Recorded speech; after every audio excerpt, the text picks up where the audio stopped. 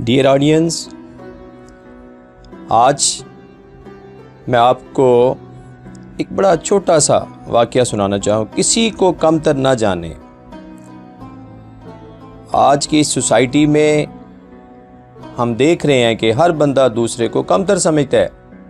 बड़ा खूबसूरत वाक़ हज़रत मूसा इस्लाम का आपके साथ शेयर करना चाह रहा हूँ। एक दफ़ा जब हज़रत मूसा इस्लाम अल्लाह से कोह तूर पे हम कलाम होने के लिए तशरीफ़ ले गए तो हुक्म मिला ए मूसा, जब अगली मरतबा आना तो किसी अपने से कम तर को भी साथ लाना। अल्लाह अकबर। हुक्म खुदा के मुताबिक हज़रत मूसा इस्लाम ने काफ़ी तलाश की इधर उधर देखा, लेकिन अपने से कम तर कोई नज़र ना आया। जब वक्त मुलाकात आया तो कोहे तूर की तरफ़ चल दिए। अचानक रास्ते में एक कुत्ता नज़र आया। डियर वीवर्स जिसकी हालत ये थी कि वो टांगों से माजूर था जिसम में कीड़े पड़े हुए थे। जब इस कुत्ते पर नज़र पड़ी तो एक लम्हे के लिए दिल में ख्याल गुजरा कि शायद ये मुझसे बदतर हो, शायद मुझसे ये कमतर हो।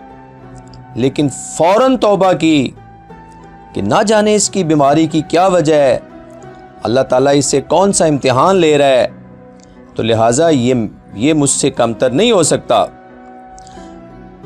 जब जनाब मूसा इस्लाम कोह तूर पर पहुँचे, आवाज़ आई, ए मूसा, हमने तुमसे एक काम कहा था, उसका क्या हुआ?